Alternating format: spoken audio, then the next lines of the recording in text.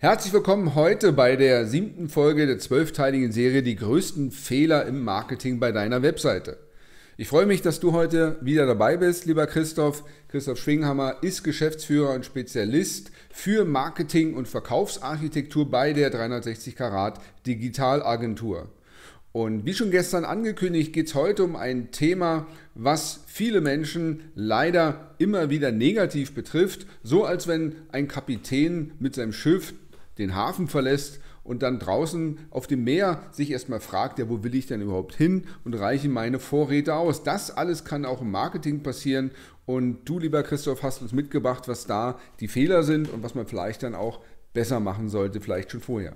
Ja, ich habe da was mitgebracht und zwar ist es der größte Fehler, keine Ziele zu haben und auch keine KPIs zu definieren für die Webseite, aber auch fürs Marketing allgemein. Was bedeutet das? Als KPIs kannst du es ganz leicht messen, wenn die Seite so eingestellt ist, natürlich, wie viele Nutzer auf deiner Seite waren, was die Personen auf deiner Webseite machen, wie viele Leute überhaupt das Anfrageformular ausfüllen. Das alles kannst du aufzeichnen und dann als KPIs schon im Vorfeld definieren, dass du beispielsweise sagst, du willst 20 Anfragen pro Tag über deine Webseite generieren. Und wie viel Traffic brauchst du dafür? Was sind die Ziele? Und das kannst du alles herunterbrechen planen und als Ziel definieren. Jetzt für unsere Zuschauer nochmal ganz genau, was bedeutet KPIs und welche KPI-Arten würdest du empfehlen, am Anfang auch mit in die Messung mit aufzunehmen? Das sind die Key Performance Indicators, das heißt einfach, es sind Kennzahlen, die wichtig sind für den Erfolg für dein Unternehmen. Jetzt beispielsweise, wenn du jetzt irgendwie Facebook machst oder Instagram und da unterwegs bist, könnte dort eine Kennzahl sein, wie viele Leute deine Artikel angeschaut haben, deine Posts, also ist es dann die Impression, wie viele Leute haben da irgendwo drauf geklickt, das wären dann die Klicks auf den Kanal, aber auf deiner Webseite gibt es dann auch noch die Kennzahl Traffic, also die Seitenbesucher. Wie viele mhm. Menschen waren in Wirklichkeit auf deiner Seite? Das mhm. sind alles Kennzahlen, die jetzt, sage ich mal, noch schwächer sind. Das geht dann eher noch um das Thema ähm, Awareness, also Bewusstsein schaffen bei den Kunden. Der nächste Schritt wäre dann Interesse stärken. Und da könntest du schauen, wie lange die Personen auf deiner Seite sind, die Verweildauer, um zu schauen, wie involviert sie jetzt in deinem Thema sind. Das wäre jetzt auch eine Kennzahl, die man nutzen kann, um das Interesse deiner Kunden zu messen. Und irgendwann sollte das ja dann auch ein Interessent werden, ein Kunde werden. Wie heißen diese Kennzahlen dann?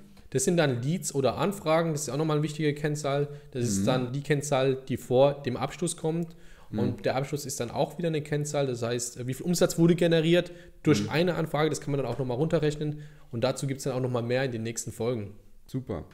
Also zusammengefasst ist, nur was du messen kannst, kannst du steuern. Und auch daran erkennst du einen guten Marketing- und Verkaufsarchitekten, dass er mit dir nicht nur eine Website oder Kanalplanung oder Contentplanung macht, sondern dass er mit dir tatsächlich auch ein Messsystem integriert, um überhaupt festzustellen, ob das, was ausgebracht worden ist, funktioniert oder ob Optimierungsmaßnahmen funktioniert haben.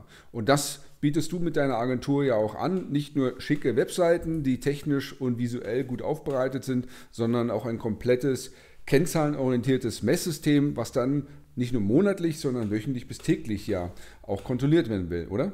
Genau, also es ist super wichtig, auch die Zahlen zu kennen. Das ist immer wieder, sage ich mal, ein wichtiger Punkt. Wenn ich den Kunden frage, wie viele Anfragen hast du pro Tag und der Kunde sagt, er hat keine Ahnung, dann ist es schon mal ein Indikator dafür, dass das Messsystem nicht richtig ausgerichtet ist und nicht eingestellt ist. Und da muss man anfangen, dran zu arbeiten, zu schauen, was kann man optimieren damit und was geht halt nicht. Wenn du also mehr dazu wissen willst, auch zu einem Messsystem oder zu Kennzahlen, die für dein Geschäft relevant sind, für deine Webseite relevant sein können, dann kannst du wieder auch Gebrauch machen heute von einem kostenfreien Erstgespräch. Den Link findest du unter dem Video. Und Gerne kannst du auch das Video jetzt liken, den Kanal abonnieren und zum Schluss wird dir Christoph noch mitteilen, was dich morgen erwartet beim nächsten Teil unserer Serie. In der achten Folge geht es darum, zu schauen, wie erfolgreich deine Marketingkampagnen sind und diesen Fehler begehen viele Unternehmen, die Zahl dafür nicht zu kennen.